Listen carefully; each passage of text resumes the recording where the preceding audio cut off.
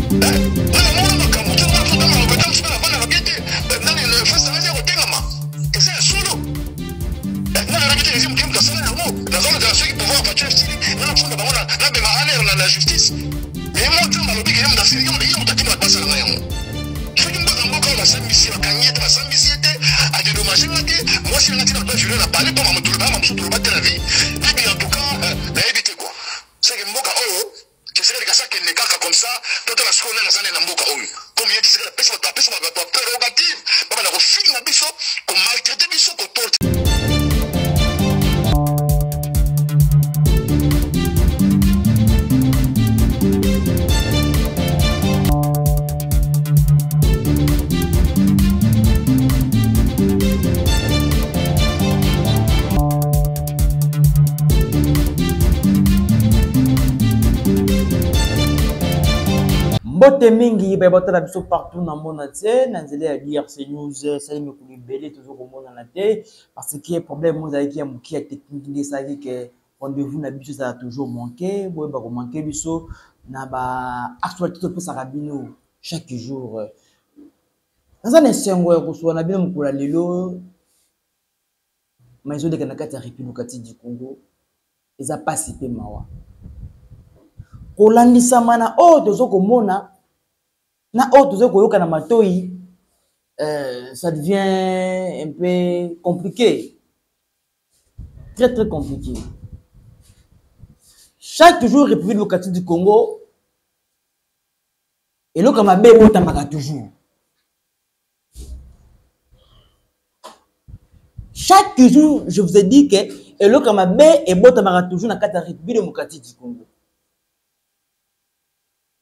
je salue directement maître constant motamba son excellence euh, ministre de garde sceaux ya justice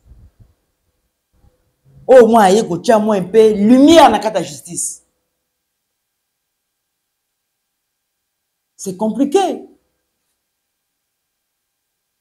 oyo tozo koyoka na oyo toza komona elingi koloba nini c'est compliqué vraiment toke directement na makambo etali lisusu ata na politike euh, oyo oh, tokobeta masolo lisusu kotala euh, martin fayulu oyo oh, oh, abasaki biso aza na londres makambo oyo esi kotala baconférence nazo kosorganize mais nde tozosolola a ah, martin fayol aza na kati états-unis d'amérique donc martin fayulu depuis à londres aza na minute na états-unis d'amérique tokoconfirme oyo tozoyoka ke martin fayulu eza prévu bakutana na mwana mboka mpe to tisekedi d'ici deux week-end oyo bakutana basolola de weekend oyo ya samedi na ya dimanche il faut mwana mboka martin fala kutana te tatwa tisekedi eza mabe te mais pourquoi okutana mwana mboka tisekedi na hypocrisie C'est pas du tout mauvais. Mais pourquoi okuta na mwana mboka Felix Tshisekedi na kati ya hypocrisie ya kobombana fetisa tout le monde bato to bayeba marche oyo elekaki na kati ya opposition esalami na kati ya devant palais de la justice absence remarquée oyo ozo benga ye mwasi ya opposition parti ya ecd non mais ata draple moko ecd ebimi na kati ya ya sitting wana te esami na kati ya euh, palais de la justice ont temps de voir ici bozomona bino moko ata draple moko te ya ecd te oyo etelemi na devant ya palais de la justice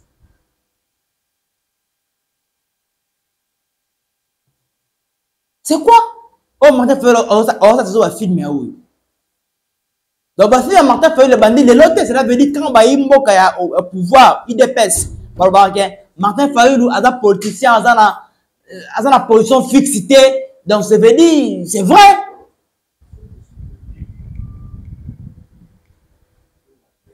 eza bosolo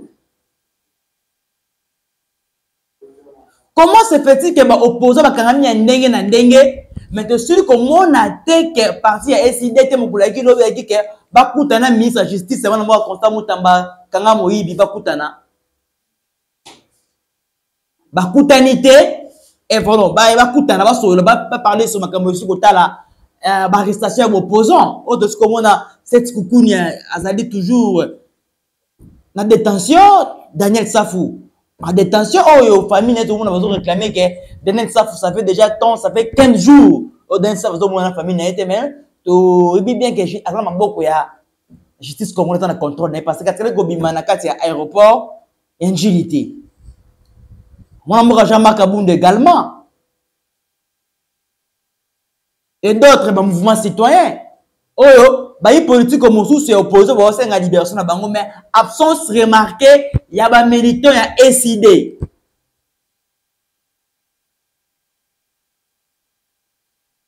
on peut comprendre que ecd il est en train de manger la fromage avec euh, pouvoir en place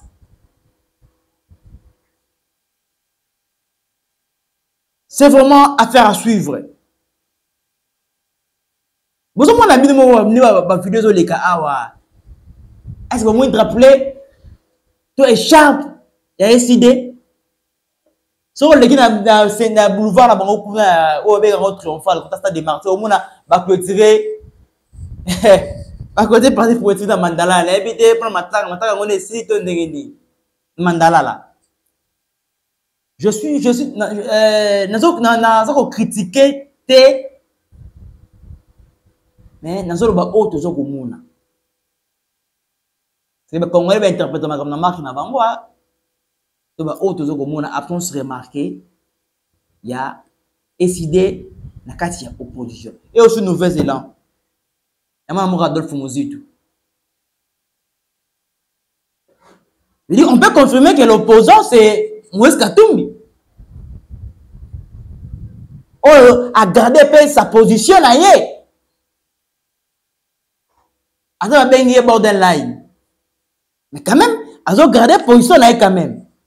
On peut confirmer ça. Mais tomoni ba militants ya ensemble baza ko réclamer ba libération ya ba ya ba membres na bango bakangama aussi ki balibaki mukeba et les autres. C'est vraiment compliqué, vraiment, quand on a affaire à suivre pour Namboka, Namboka Martin Fayulu. Mais aujourd'hui, des deux week-ends, tu as information, attends, vous allez discrètement, beaucoup tania, papa, et quoi le monde Namboka Fayulu qui s'est dit,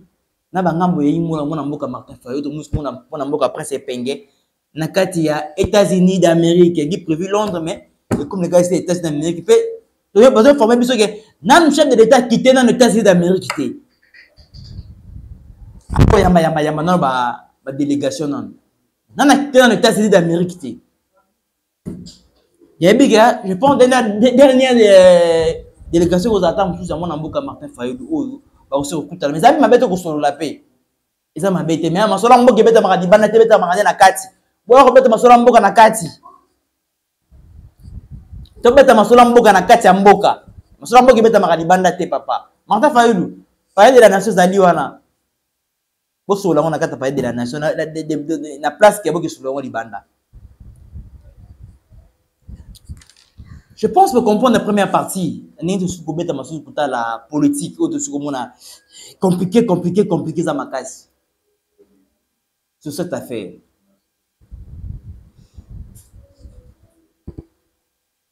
deuxièmement toparle likambo te kotala oyo babengi sodomie affaire sodomi nayebi te culture oyo bayi africain to bayi kongomani bazwi yango wapi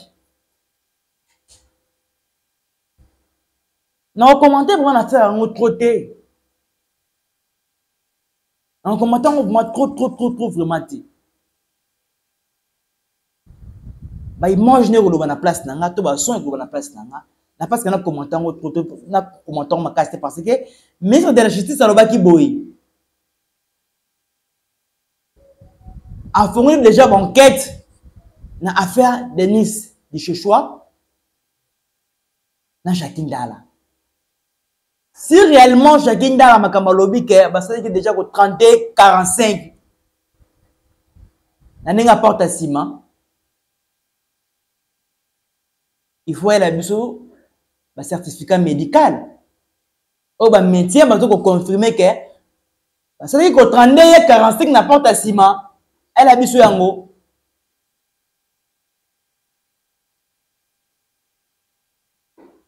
soki eza bongo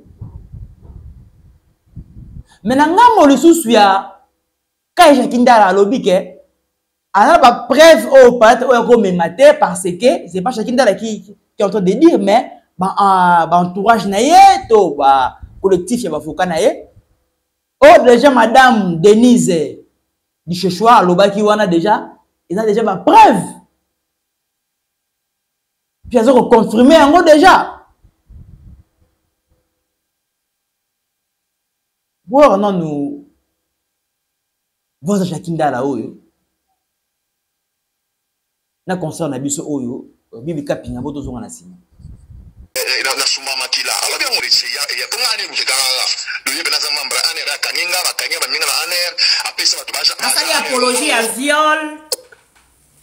te oyo baviole ne to baninga alobaki to baninga alobaki balalanga na masoko mibale bakotisaka bilo na masoko nde nabe masoko na ngai etikala polele nasumba makila alobi yango ti alobi yango domoko nayebaki te atinda bato basala bongo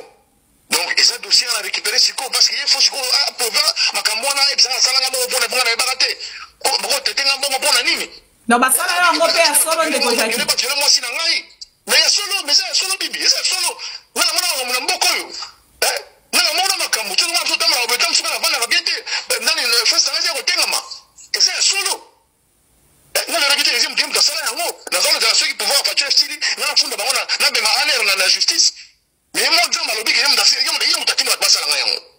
soki mboka mboka oyo basambisi ye bakangi ye te basambisi ye te adedomage nga te mwasi na nga tina bato bajure na pale mpo mamotoloba ya mamosusu toloba te na vie bibi en tout cas euh, nayebi te kua seke mboka oyo tshisekedi kasi akende kaka comme ça totala sikoyo nani aza nde na mboka oyo comme ye tshisekedi apesa bato apesa bato bato baprerogative babanda kofinga biso komaltraite biso kotorti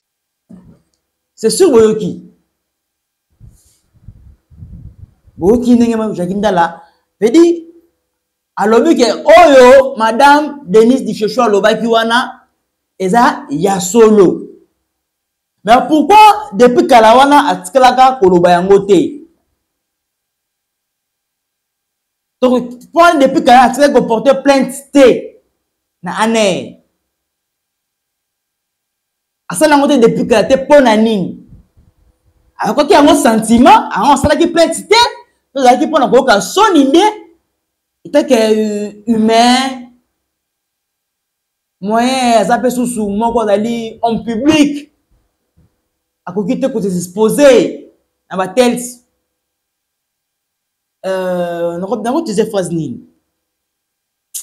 bosoto ya modele ya bongo ya tel bosoto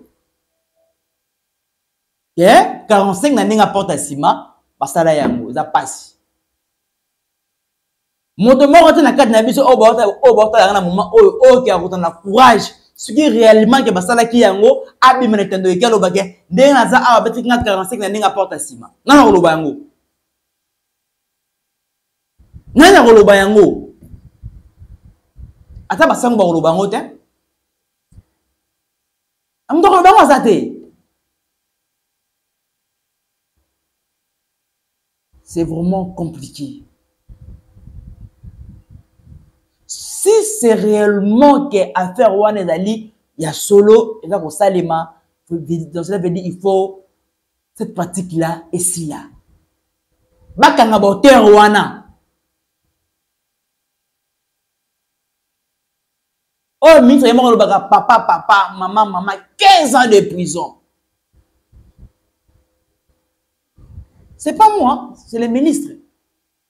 papa papa mama mama 15 ans de prison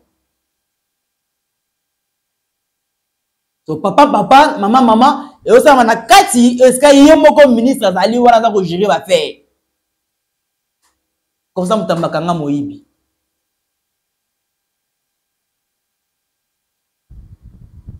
apasa directement mpe arrestation ya madame eh, oyo tiktokese eh, maria tumba oyo bosusu toyoka mpe ke eh, si kokangama je pense d'ici dans quelques heures ici nous allons connaître mutu azali auteur ya plainte na ye ya arrestation ya madame maria tumba azali mpe moko mpe ya aza donfedi aza koedike merce quoi c'est vraiment compliqué affaire papa papa mama mama mais ya forcing donc 45 na ndenge aporte nsima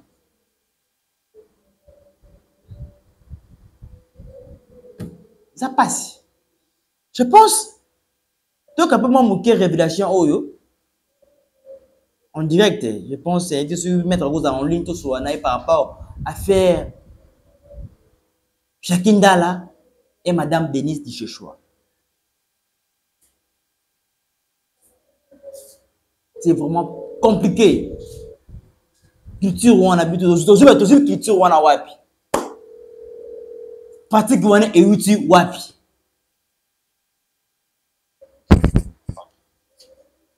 maître bonjour maître mais maître matama mongo moke parce que vous êtes en direct ici na l'irc Ah, ok, ça va. Ok. Nazoyoka bino. Maître, tozwa mwa miniti mingi te olingi éclaircir biso likambo oyo si kotala phénomène sodomi oyo ekomi partout na place ezalaki ekóma te mais ekomi kokóma place wana mwana mboka eteke yo moyi mokili mibeko comment centre de trouver cette phénomène sodomi oyo eh, ya phénomène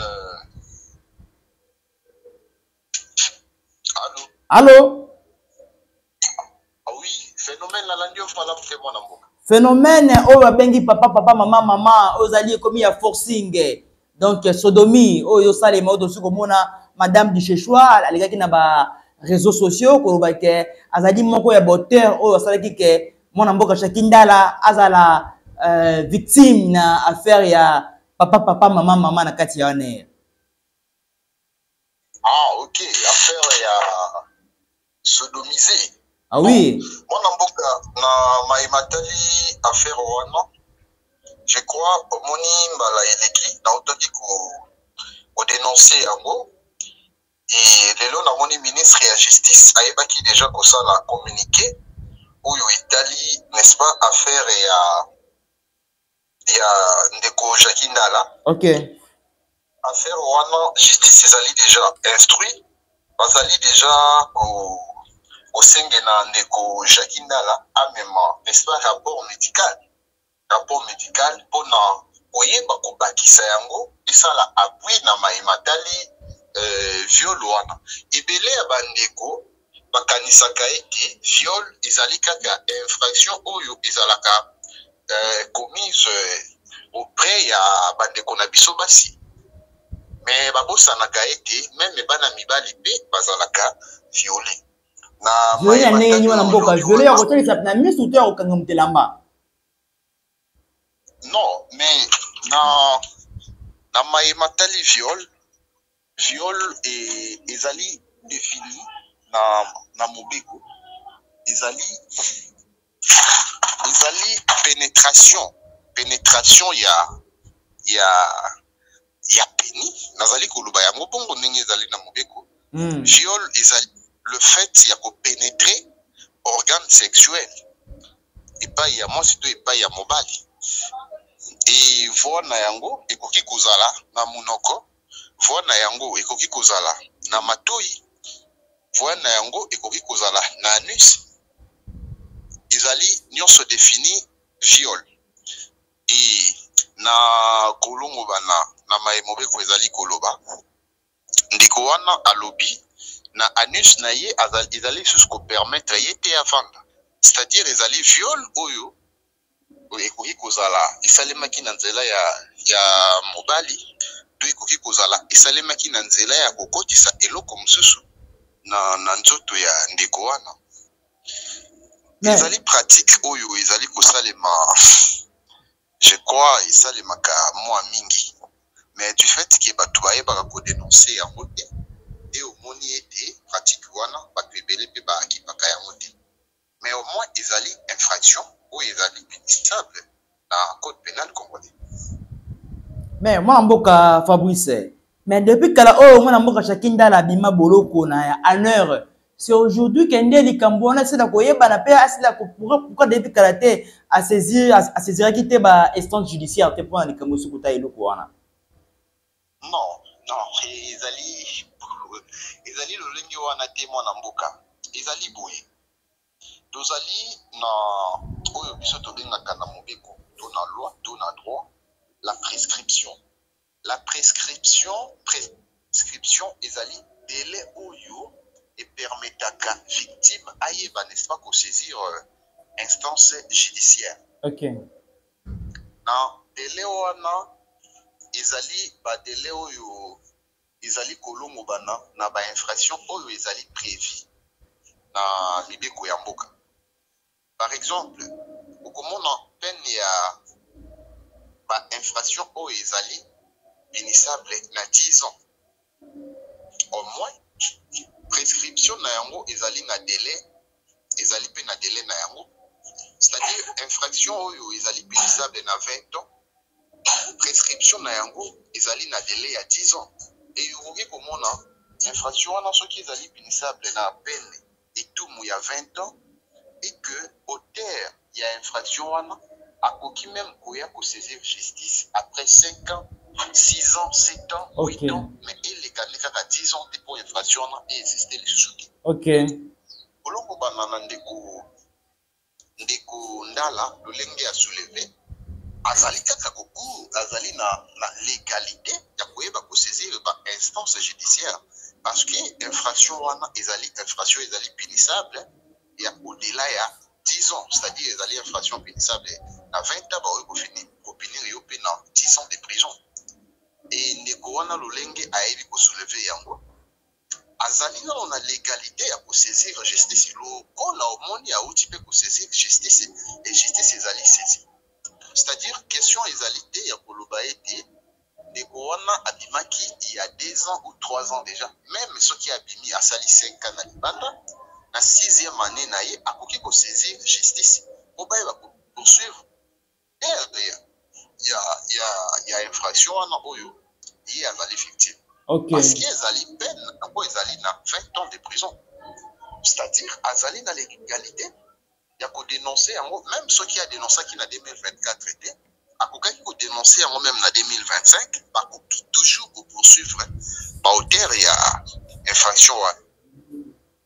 mais mwana mboka maître eh, motuna suka mais phénomène oyo oyo ya papa papa mama mama oyo osala na kati ya euh, na bestance judiciaire na biso ya ba service tout etali sécurité c'est tout hein, juste eh, na généraliser kaka parce que apparemment aussi na ba ekomi partout tozokoyoka phénomène wana mais eloko nini oyo bino mikili mibeko disposition nini oyo bokoki kozwa mpo eloko nini bokoloba na ministre par rapport à cette phénomène là bon na maye etali phénomène wana oyebi phénomène wana premièrement soki ezalaki phénomène natamatama mwa moke soki ezalaki phénomène oyo eyebaki kosalema entre bango na bango ba detenus to bango na bango ba prisonniers ezali lolenge mosusu e soki mpe ezali phénomène oyo esalemi entre bato oyo bazali komi na garde ya ba detenus to na garde ya ba prisonniers wana mpe ezali lolenge mosusu question sous examen oyo ndeko ndala a souleve nayebi te est-ce que ezali mabe oyo esalemi entre bato oyo bazalaki kogarde ndeko ndala ou bien ezali eloko oyo esalemi ndeko ndala na kati ya, ya kasho entre guilleme ya aner wana eyebani te mais peu importe la forme Peu importe la forme, ezali viol. Ezali infraction ya viol parce que tout simplement soki ndeko ndala apesaki consentement na ye te ezali viol e nazali kodoute ke apesa consentement na ye parce que azali mwana mwasi te seke ezali infraction ya viol merci beaucoup maître ndenge osi kointerse bayi mboka ya drc news Merci beaucoup, mon amboka. Merci. Je pense, euh, Landy,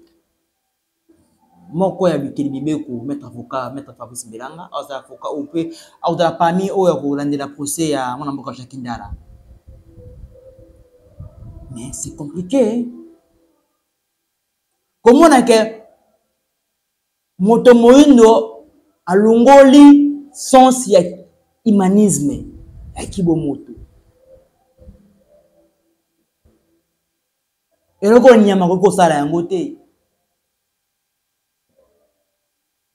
ata nyama akoki kosala ata moto na liboma akosala eloko wana te na comment okoki kopermettre kosala batele pratique ya modele ya bongo ya 45 na ndenge ya nsima ota nsima ça passe na motema c'est vraiment compliqué je pense euh, dossier ya mwana mboka jaki ndala tokokoma ntango mingi te parce que eza dossier déjà oyo evandi déjà na kati ya justice tokotala ndenge nini masolo yango ndenge nini esi okoleka donc euh, je pense tozala toujours scotio branché na nzela ya drc news bokoki korate information moko te ya maizoleka na kati ya république démocratique du congo nakosenga na bino bokanda biso service moko bopartage balien bosabone kosabone mpo epermata biso te bandenge nini ya kopesa bino information fiable soki boza na mposa eloko moko bongi boyeba yango bokommente na se wana tokozala wana mpona koyeba koinclarsire bino bosabone vraimen ozala malamu mingi Je pense prochaine émission bokoyeba ba vérité ya somo bena phénomène toyoki lisusu ya mwana mboka isidore kwanja oyo azalaki coordonnateur ya francophonie na kati ya république du congo mwana mboka isidore kwanza